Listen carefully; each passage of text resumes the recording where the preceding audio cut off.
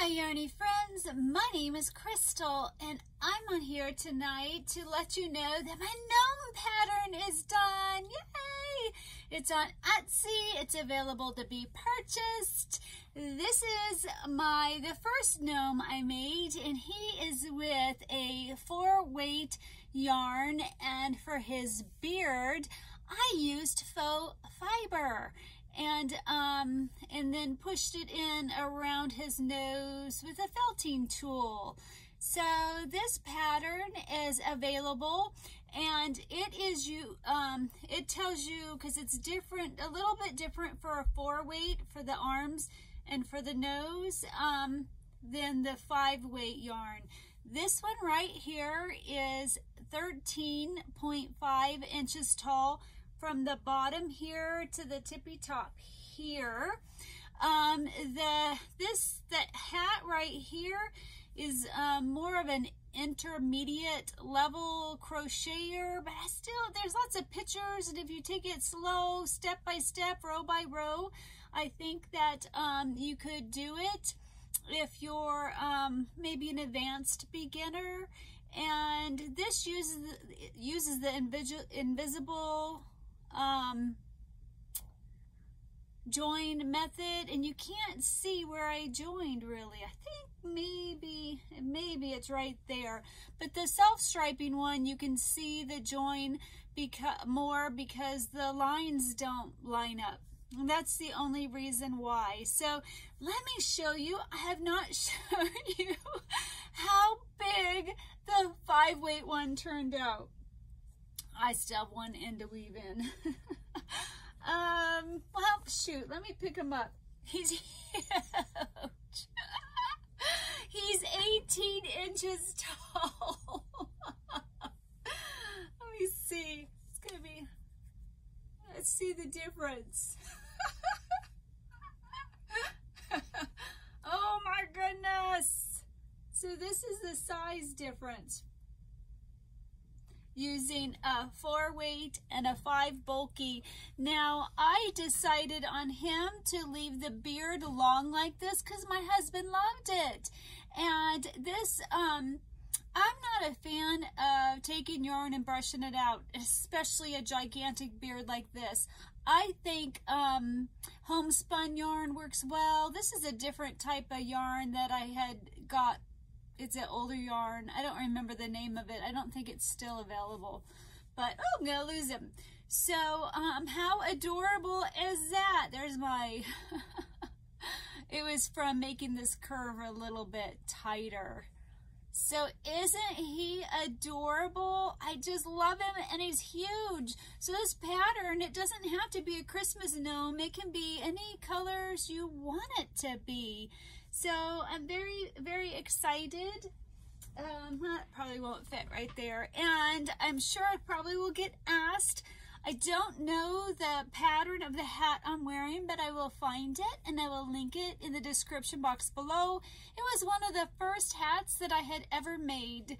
And, um, oh, duh. I want to give a shout out and a thank you to all my testers and I want to show you pictures of what they made. My brain's not working too well, guys.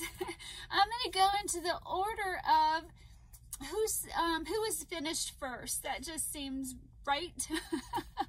so the first tester um, that finished. And I'm going to put a picture of her gnome right here. And it was Pamela at Pamela's Adoring Crochet on YouTube. If you guys don't know who she is, she's amazing. She um, she has so many tutorials, a lot of them. And she does um, tutorials on babe, not baby, um, dolls, different doll outfits. I love that. I want to get my granddaughters a doll and make some of her outfits. But she has hats and sweaters and scarves and she had like a year long crochet along for doing um um towels, the towel toppers and stuff. And she has like a Christmas hat, uh, she pattern, a tutorial, stockings, all kind of neat stuff. I love watching her channel. She has a lot of fantastic ideas that I really want to do. If I was healthier, I'd be just right there with her because I love what she does. Like for her family, you know, she gave them all um, slipper socks uh, and she has a tutorial for that. So her channel will be linked in the description box below. And didn't her gnome turn out super cute? Thank you so much, Pamela, for testing my gnome. My second person to finish was Ella at No Catchy Name. And this is her adorable gnome. Thank you so much, Ella. And if you don't know who she is, she has a YouTube channel called No Catchy Name. She is a young mom. She's pregnant with her second child. It's exciting to watch her crochet, to see her ideas, to see Jessie, her youngest, grow up. I cannot wait to see June, her daughter. She's, it's just fun to watch and um, she makes a lot of bags for sale and they go like that because they're so amazing. So I will link her channel in the description box below. Thank you so much, Ella, for testing my pattern for me. The third person to finish it, um, she's on my Facebook group and I'm sure she is um, a Yarny friend. Subscribe to my channel. Her name is Michelle, and this is her adorable gnome, and I really appreciate you testing my pattern. You did a great job. I love it. It's so cute, and the beard, I just love that yarn that you used. Oh, if you could tell us what the yarn was um, in a comment below, that would be fantastic. My fourth person, I, um, I don't know if she will get a picture in by the time I have this up, but her name is Nancy, and she's a Yarny friend here on YouTube. She's the one that sent me the um, wash rags for my daughter-in-law for her wedding, for the um, bride's gifts. She's just been a lot of support. She just gives me a lot of love. She supports me so well. And she tested this pattern and she's so close to being done, but I had to do this video. So if I don't get it up now, I will have it in a future vlog because she's almost done. and somebody else who um, was testing it, who is an amazing tester, um, but life happened, something happened to where she couldn't finish it. And her name is Crystal. And she has a YouTube channel called Ricola's Crochet Corner. And I'm going to link her in the description box below. I highly suggest that you go over there, subscribe, and um, eventually you'll get to see her uh, Sir Guardsalot. Did I even say the name? I don't know if I did, but the pattern, this is, he Sir Guardsalot. Oh, and I wanted to tell you, if you're still here, I was going to say in the beginning, but my brain isn't the best.